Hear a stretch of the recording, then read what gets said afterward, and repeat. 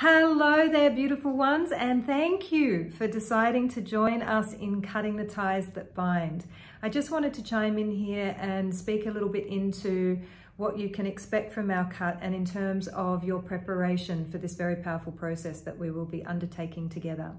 So as you read in the information that I've already sent to you and in our um, invitation, you'll know that you can never cut from love. And that's really important for you to remember that when we are liberating ourselves from these sticky webs, from these cords, these attachments to either people or belief systems um, of our past, then we are only liberating ourselves and them and the situation from anything that may be adversely affecting or draining our energy in any way or keeping us locked in old grooves of the past. So when we liberate those ties through the process that we're going to do together, and this is very different to any cutting process I'm sure that you've probably ever done before. It's not just a cord cutting. This is a psychological process where we actually go in and talk to the subconscious mind in a way that it can really understand using shapes um, and images and symbols.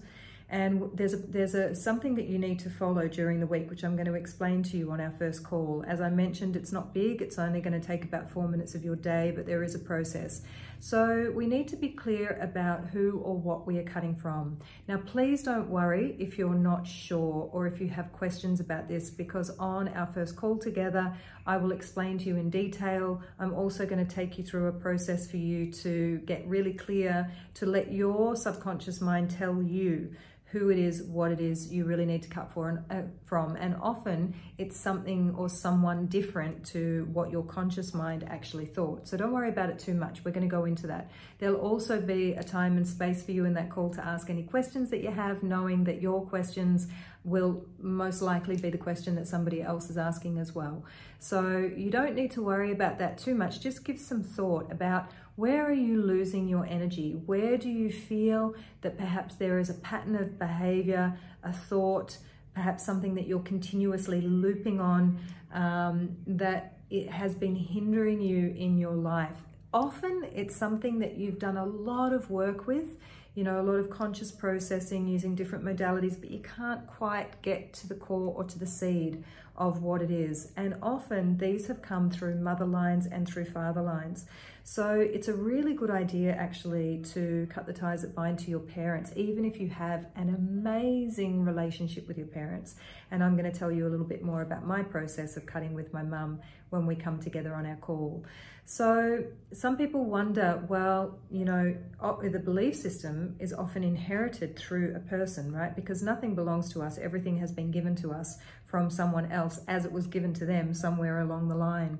So sometimes it can be very clear. Sometimes you can be running a belief like um, something around perfectionism, I'm not good enough, um, money is always scarce for me. It's not spiritual to have money. You know, there's so many different, I mean, choose which one. There's millions of them, of limiting beliefs. And you may have an idea where that's come from. Perhaps it has come through a parent, perhaps it has come through a past relationship that you can consciously remember, or maybe it's something that has come in at a time in this lifetime or even in another lifetime that has just developed. It's something that you've practiced, it's something that you've told yourself, and you might not have an idea where it's come from. So in that case, we're cutting from a belief. If you're pretty clear about where that belief, the seed of that belief is, then perhaps it's cutting from that person. It can also be um, past sexual partners is a really good one. Um, I love this. I'm actually running that cut right now as we speak, and it's very, very powerful as we take on the energy fields of everybody that we've had intimate relationship with. So we can cut in that way from past sexual partners. Perhaps there's a particular past relationship. Often these things will show up in our dreams. Like even if we think that we've got it on the on the um, on the surface, on the conscious level, it shows us that we're not quite there yet because it continues to show up in the dream time. So I'm going to let you contemplate that and sit with that and have a feel into uh, what you're releasing yourself from. It can even be that you're beginning a relationship, say a business partnership, for example, with somebody, and there's something there that needs resolving. And maybe it's helpful, it's definitely helpful, to clear all of that energetic um, stickiness away before we move forward from with them. Remembering you can never cut from love, you can only strengthen the bonds tons of love during this process.